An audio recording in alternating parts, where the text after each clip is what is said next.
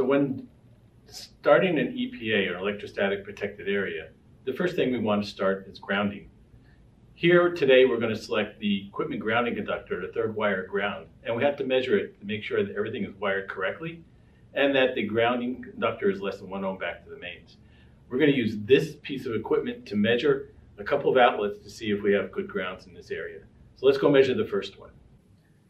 So we've already discussed we got to talk about grounding. And the first thing we have to do is make sure the grounding system we picked is wired correctly and has less than one ohm impedance. So here we go checking our first ground.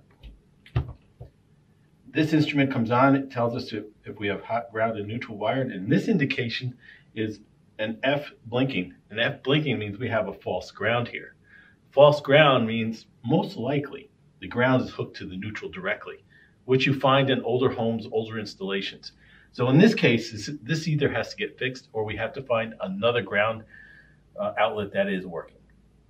So now we're going to test this outlet to see if we have a good ground. We're using the same instrument that we did before. And if we plug it in,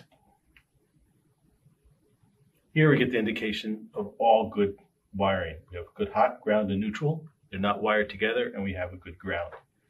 The second measurement we want to make now that we know we have wires is we want to make the ground impedance measurement. Remember that has to be less than one ohm in order to meet all our specs. So we go to the impedance measurement, ground, and you can see it's very low. In fact, the meter can't measure it, so it's much less than one ohm. So at this point, now we've established a good grounding system, a good grounding place to connect, and we can start connecting our ESD control equipment to this particular ground. The other ones we may have to get fixed before we do that.